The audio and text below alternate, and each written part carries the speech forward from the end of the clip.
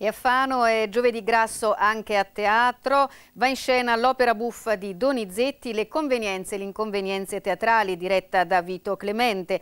Il nuovo spettacolo della rassegna lirica torelliana sarà replicato sabato con ballo in maschera. A seguire noi abbiamo seguito l'anteprima, vediamo. Si tratta di uno spettacolo ad alto tasso di divertimento, con punte di assoluta comicità, grazie alla fiatata compagnia di cantanti attori.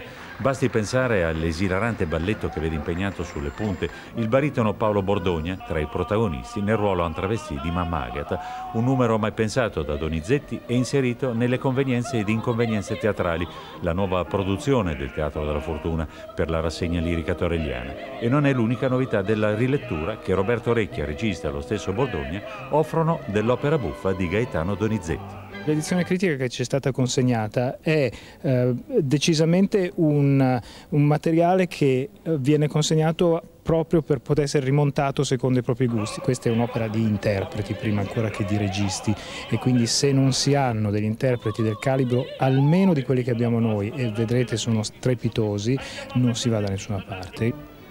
Nel tumultuoso gioco di travestimenti, recitativi ridotti a battute, danze e ironici riferimenti all'Otello Rossignano, si distingue Paolo Bordogna, una sorta di bracchetti della lirica. Abbiamo in tutto cinque cambiabito. Il primo cambio è di 40 secondi ed è un cambio completo di abito, gioielli, scarpe.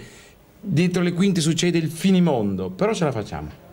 Opera nell'opera, visto che Donizetti si diverte a mettere alla berlina l'ambiente del melodramma di inizio Ottocento, attraversato da invidie, ripicche e dispetti. Ma il mondo della lirica oggi è tanto diverso? Donata D'Annunzio Lombardi è l'agile soprano che debutta nel ruolo di Daria, la prima donna. È rimasto questo senso del capriccio, della nevrosi, che eh, dà anche da comprendere perché mm, il cantante fa un lavoro eh, psicofisico veramente incredibile. Però aggiungo, questa è un'occasione anche interessante per eh, guardarci un po' con una certa distanza e, e sorridere anche di noi stessi. 9